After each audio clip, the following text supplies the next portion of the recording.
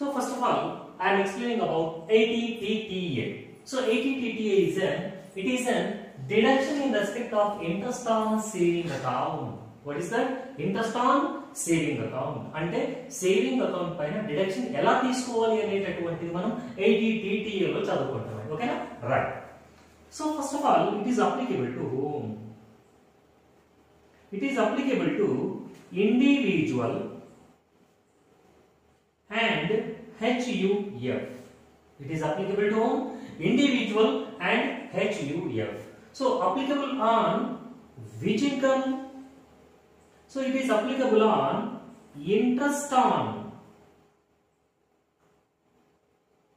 saving account. What is that? Interest on saving account. Right. So interest on saving account, not on current account deposits not on fixed deposit that means term deposit account okay only interest on saving deposit account is eligible for 80 DDA okay right so point number 3 so interest on saving account only in certain that means cases saving account with banks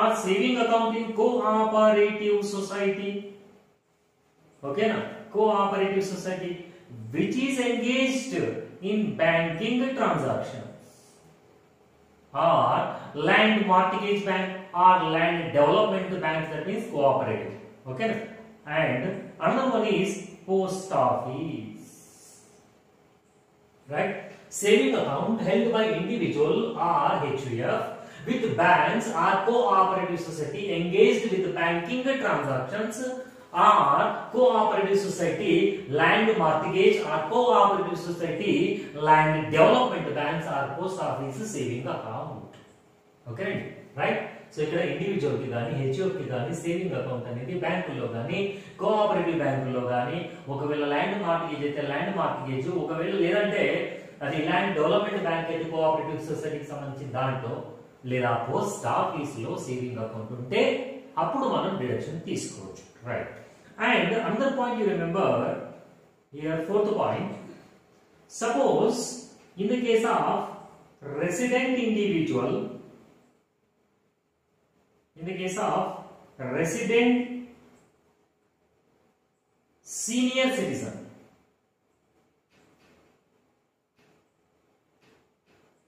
okay, it is not available is not available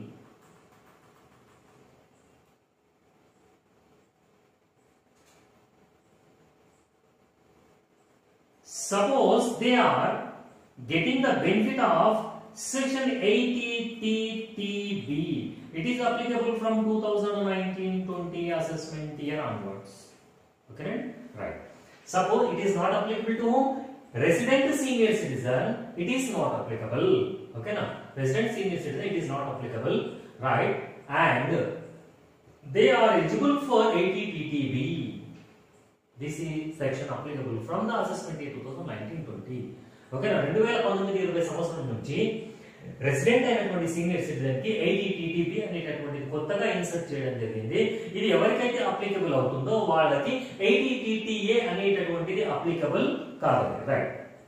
Now, how to get the direction? So, amount of direction.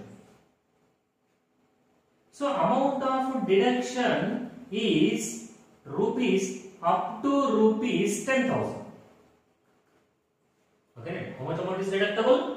Up to rupees 10,000 is deductible. Okay, right? In the case of post office saving account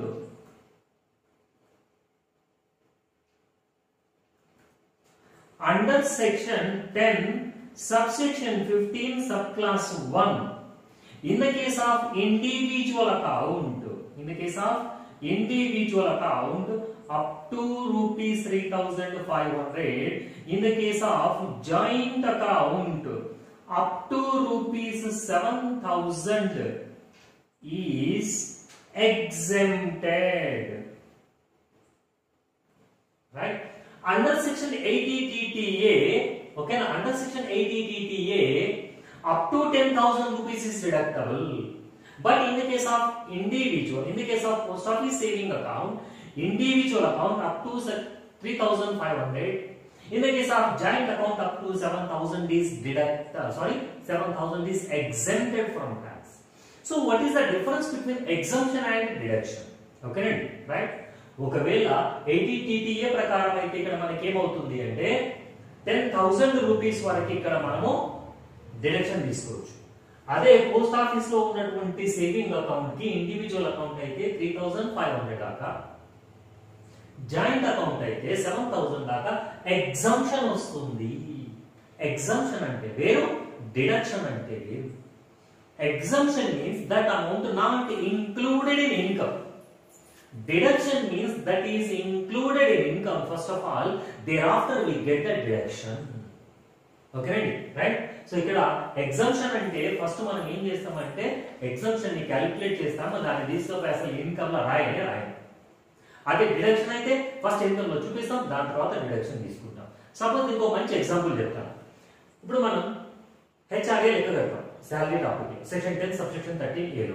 HRD లెక్కగట్టినప్పుడు ఏం చేస్తాము first exemption calculate చేస్తాం remaining పార్ట్ని మాత్రమే తీసుకుపోయి మనం salary ఏంటో రాయడం జరుగుతుంది ఇదేది హెచ్ఆర్డీ అదే టాపిక్లో మనం ఎంటర్టైన్మెంట్ అలవెన్స్ పోతాం ఎంటర్టైన్మెంట్ అలవెన్స్ వచ్చేసరికి actual received amount actual received అమౌంట్ని మనం ఫస్ట్ శాలరీలో రాస్తాం కానీ సెక్షన్ సిక్స్టీ ప్రకారం ని గవర్నమెంట్ కి మాత్రమే తీసుకుంటాం అంటే ఫస్ట్ రాసామా లేదా రాసామా డిడక్షన్ అంటే కింద తీసుకున్నాం అండ్ ఎగ్జామ్షన్ అంటే మనం ఇన్కమ్ లో చూపియము డిడక్షన్ అంటే ఫస్ట్ ఇన్కమ్ లో చూపిస్తాం తర్వాత తీసుకుంటాం ఓకే నేను క్లియర్ అర్థమైంది అనుకుంటా రైట్ సో ఇది ఎయిటీ టీటీఏ ఎయిటీ టీటీఏ ఎవరికి అప్లికబుల్ అవుతుంది ఇది ఇండివిజువల్ కి లేదా హెచ్ఎఫ్ కి ఇక్కడ సేవింగ్ అకౌంట్ బ్యాంక్ లో కానీ కోఆపరేటివ్ బ్యాంక్ లో కానీ లేదా పోస్ట్ ఆఫీస్ లో కానీ సేవింగ్ అకౌంట్ ఉంటే అప్ టు టెన్ థౌసండ్ దాకా డిడక్షన్ తీసుకోవచ్చు అండి ఓకేనా పోస్ట్ ఆఫీస్ లో సేవింగ్ అకౌంట్ ఉంటే Ten subsection fifteen subclause one ప్రకారము ఇండివిజువల్ అయితే త్రీ థౌసండ్ జాయింట్ అకౌంట్ అయితే ఏమో సెవెన్ థౌసండ్ దాకా తీసుకోవచ్చు right so another important point you remember suppose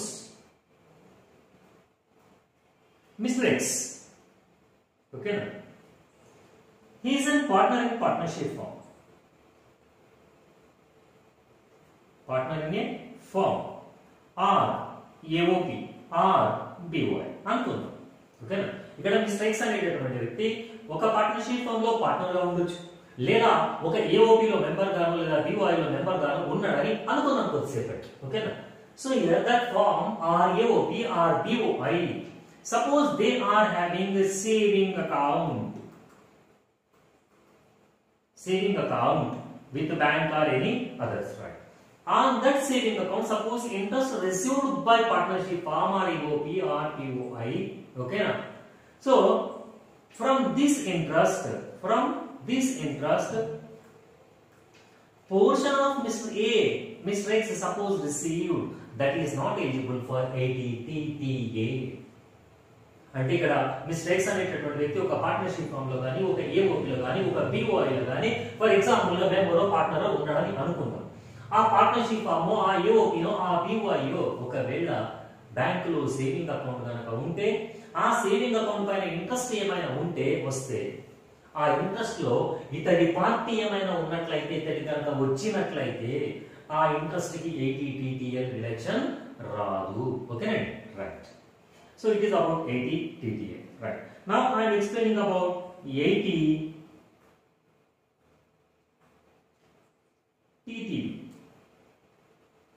section eighty 80 TTB. it is applicable to it is on resident senior citizen in the case of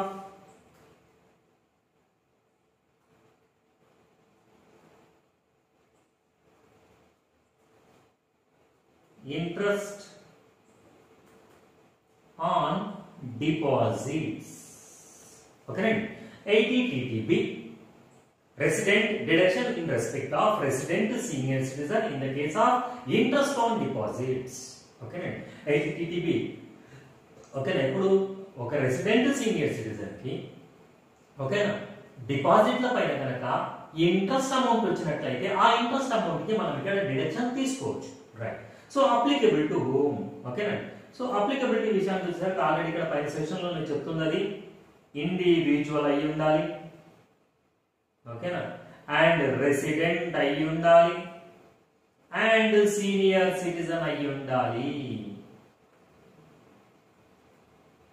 right resident, individual and senior citizen. Who is called senior citizen?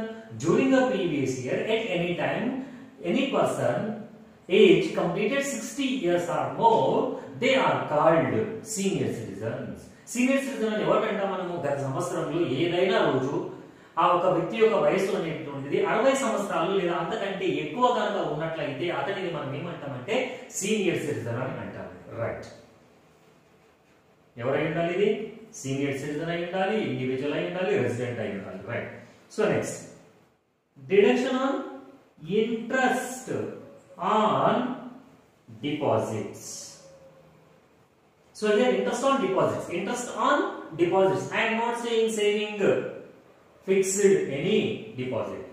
That may be either fixed deposit or saving deposit. ATTTB is eligible. But in the case of ATTTA, very clearly mentioned interest on saving deposit. But here interest on deposit, those deposits may be either either saving or fixed deposit. So A deposit కి వస్తుందండి ఇక్కడ saving deposit అన్న వస్తుంది fixed deposit ఉన్నా కూడా మనకి ఇక్కడ deduction తీసుకోవచ్చు right so deposit with home deposit with like that ఏటీటీటీఏ banker or cooperative society cooperative society which is engaged in banking transactions or cooperative land mortgage bank or cooperative land development banks right and post office right so ఇక్కడ deposits అనేవి ఎవరి దగ్గర ఉండాలని చెప్పాను బ్యాంకుల వద్ద కానీ cooperative society which is engage in banking sector banking transactions or cooperative mortgage banks or cooperative land development banks అయినా పర్వాలేదు అలాగే పోస్ట్ ఆఫీసులో కూడా మనకి ఇక్కడ డిపాజిట్ ఉండొచ్చు వీళ్ళ దగ్గర కనుక సీనియర్ సిటిజన్ కి డిపాజిట్స్ ఉంటాయి అది ఫిక్స్డ్ డిపాజిట్ ఉండొచ్చు లేదా సేవింగ్ డిపాజిట్ ఉండొచ్చు అప్పుడు మనకి ఇక్కడ ఎయిటీటీటీబీ అప్లికబుల్ అవుతుంది ఎప్పుడైతే ఎయిటీటీటీబీ అప్లికబుల్ అవుతుందో అప్పుడు వాళ్ళకి ఎయిటీటీటీఏ అప్లికబుల్ కాదు ఓకే రైట్ సో ఇక్కడ వచ్చేసరికి deduction amount of deduction amount of deduction up to rupees fifty thousand 50,000. Amount of deduction up to rupees fifty thousand అంటే యాభై వేల రూపాయల వరకు వీళ్ళు డిడక్షన్ తీసుకోవచ్చు right so next computer point like that same suppose senior citizen okay ఒకవేళ post ఆఫీస్లో కనుక సేవింగ్ అకౌంట్ ఉన్నది ఇండివిజువల్ అకౌంట్ ఉంటే ఇట్లా జాయింట్ అకౌంట్ ఉంటే అవి సేమ్ గా section ten sub section fifteen sub class one అనేవి ఇక్కడ కూడా అలాగే అప్లికబుల్ అయితే అది ఎగ్జంప్షన్ రైట్ అలాగే ఇంతకుముందు ఇక్కడ ఇంకో పాయింట్ మనం సపోజ్ మిస్టర్ ఎక్స్ ఉన్నాడు ఆయన సీనియర్ సిటిజన్ అని అనుకుందాం పార్ట్నర్షిప్ ఫామ్ లోనో ఏఓపీలోనో లేదా బీఓఐలోనో ఆయన కనుక ఒక మెంబరో పార్ట్నరో కనుక ఉన్నాడు ఆ పార్ట్నర్షిప్ ఫామ్ లేదా పిఓపి లేదా బిఓఐ అనేటటువంటిది సేవింగ్ అకౌంట్ కనుక బ్యాంకుల్లోనో పోస్ట్ ఆఫీస్లోనో ఇలా ఉంటే దాని మీద వచ్చినటువంటి ఇంట్రెస్ట్ కి ఏదైనా పార్టీ ఏమైనా ఉంటే దానికి డిడక్షన్ రాదు ఇక్కడ కూడా లైక్ దట్ ఏటీటీటీఏ ఓకేనండి right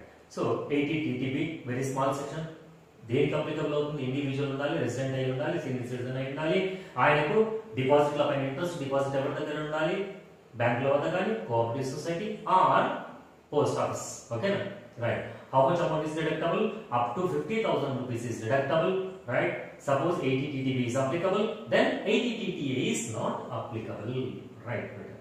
Next one.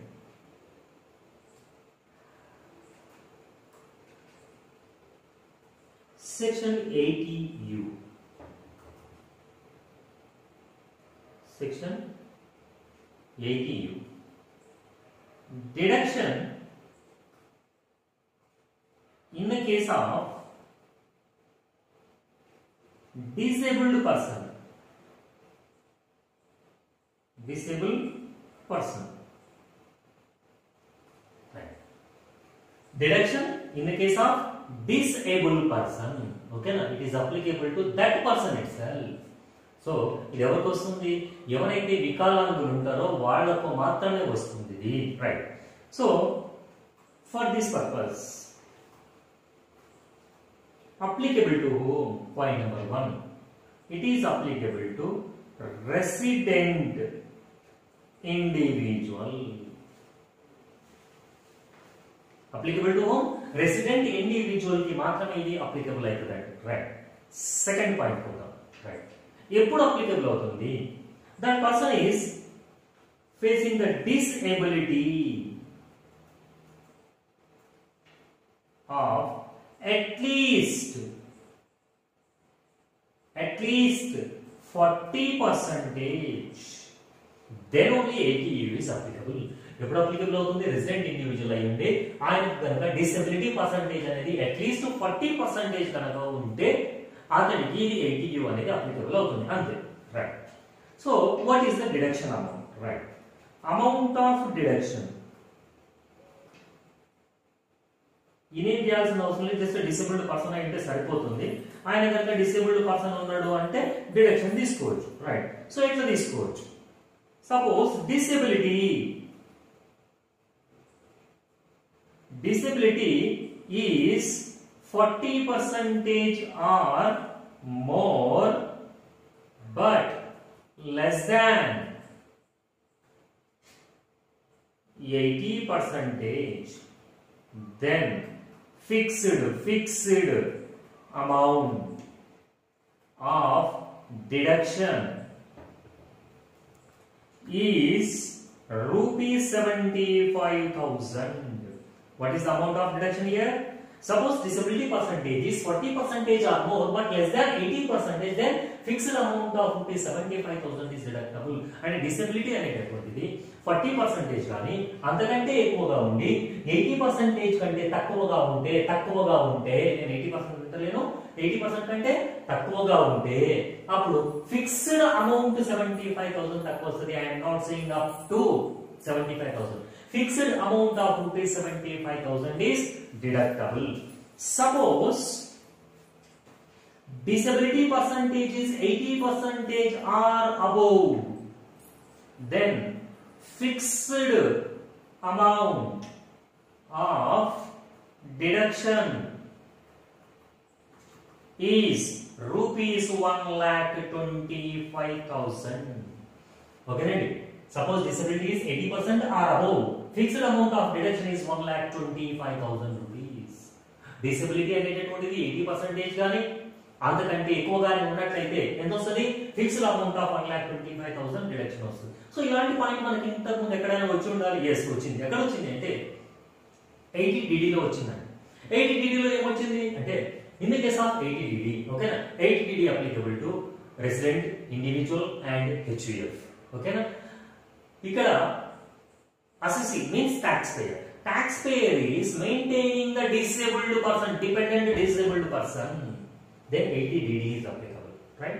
So taxpayer కనుక ఈ డిపెండెంట్ డిసేబుల్డ్ పర్సన్ ని మెయింటైన్ చేస్తే అక్కడ ఎయిటీ డీడీలో చదువుకున్నాం ఏమని fixed amount of seventy five thousand fixed amount of one lakh twenty five thousand like that year also but here applicable to that disabled person itself okay right so ఇది very చాలా very small section so deduction in respect of ఓకేనా in the case of disabled person applicable to whom resident individual disability at least 40 percentage then how to get the deduction okay na deduction is in the case of disability is 40 percent or above but less than 80 percentage then 75 percent sorry exactly fixed amount of 75000 is deductible okay right suppose disability is 80 percent or above then fixed amount of 1 lakh 25000 is deductible right so it is about section 80U, right? In this session, I explained one is 80TTA, another one is 80TTB and another one is 80U. I think you understood very clear,